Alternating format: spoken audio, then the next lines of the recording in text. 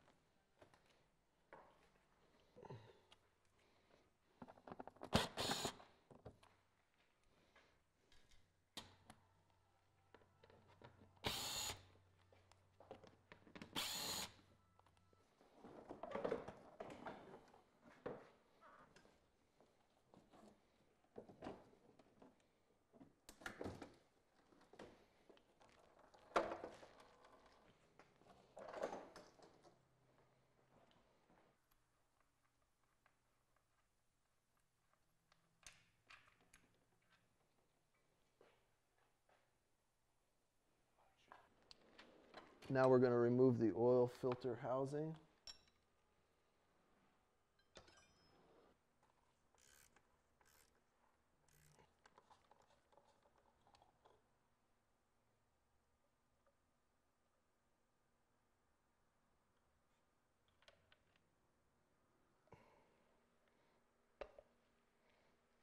Now that we have the oil filter housing removed, we had to inspect this oil filter adapter and this vehicle being a 2015 R uh, we had to update it to this part which is here. Also recommended on Racing Line's website to check all vehicles 2015 and down. Now we're going to start the assembly of the oil cooler and brackets. We're going to put these mounts onto the cooler. We're going to tighten these first because if you don't you won't be able to after you put the side brackets on.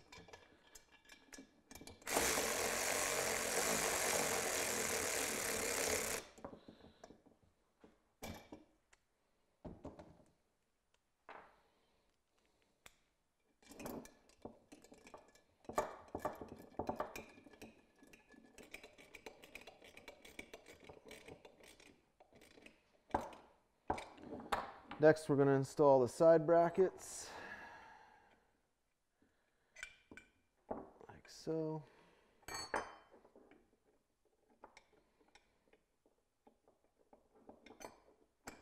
Install the bottom plate. Matching the logo for the top.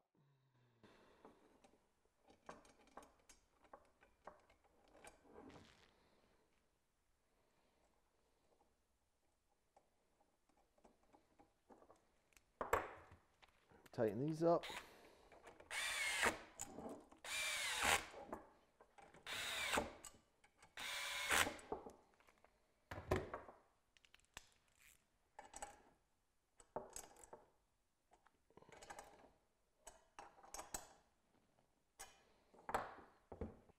Now we're going to attach the brackets that hold it to the car's rebar.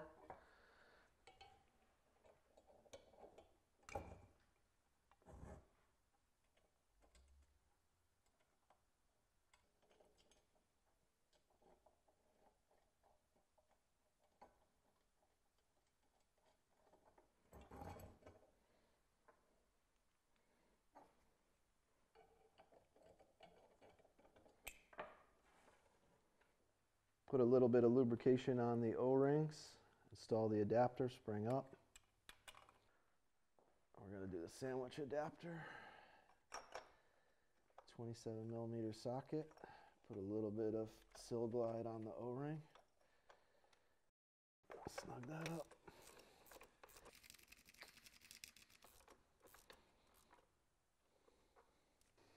Insert the adapter base.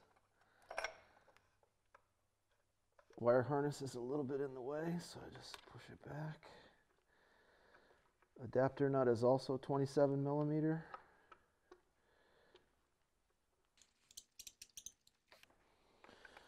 And we're going to final tighten this after we put the oil lines on and have the correct orientation. It should be faced about 30 degrees towards the front of the vehicle. Now we're going to install the oil lines. We're going to start by feeding it down between the frame rail and the AC compressor. Mount the front near the horn.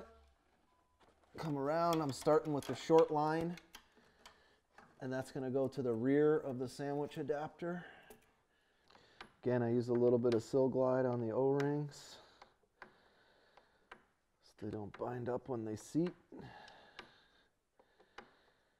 And at some point we'll get this snug down. And that one's seated there. And now the longer line. I'm Going to feed that down the same way.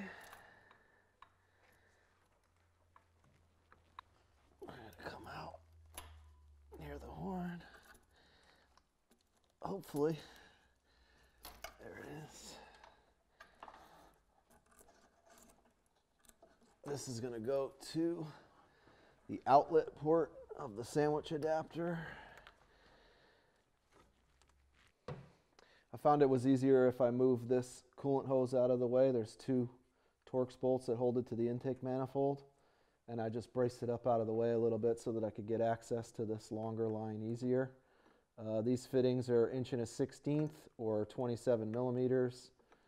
Uh, I put a little electrical tape on my wrench to try to save the fittings from getting damaged. Uh, this is probably something that you're going to see, so want to try to be careful with it when you're tightening these down. I can see the sandwich adapter is still moving. That's just because I didn't final torque it yet.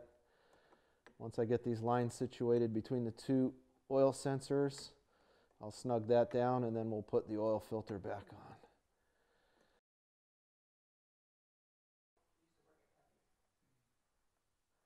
I'm to transfer my measurements to the rebar. I already drilled one hole. mark the second hole here. I go about 12 underneath to there. That's fine.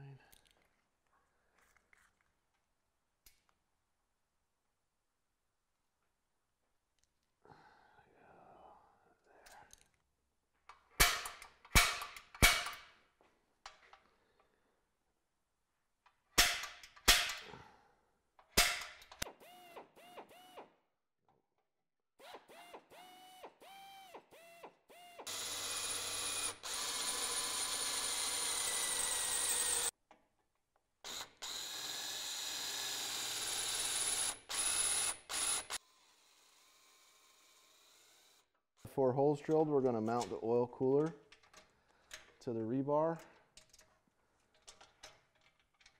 You might want to have some extra drill bits when you drill these because they can be pretty hard and they chew up drill bits.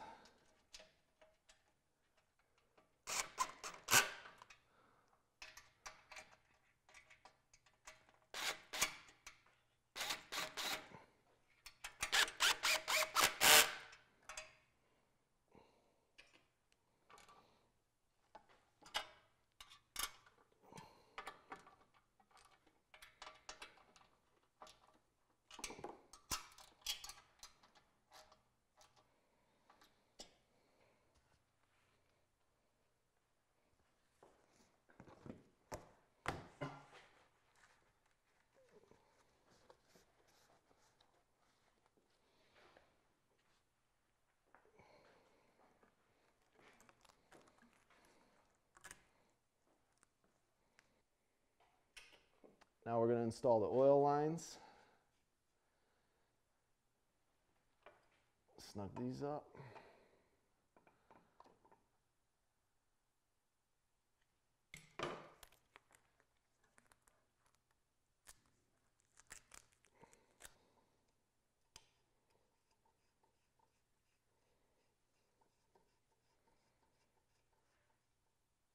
Snug this one out. To install a line spacer.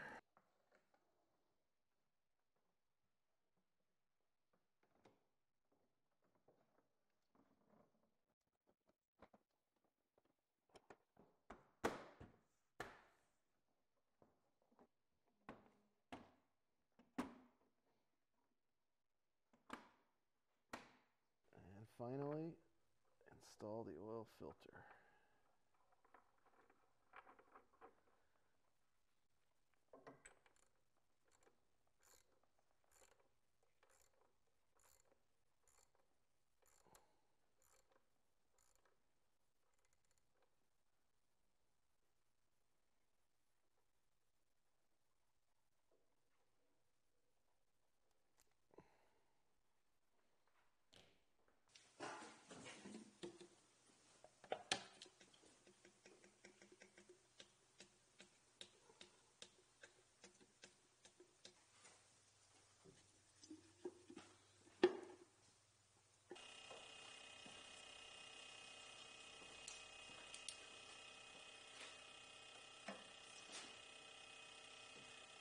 Roots. Leaky boom boom down. So close to the belt. Oh yeah, it like just fits, man. Holy cow. Don't get much closer than that, Walter.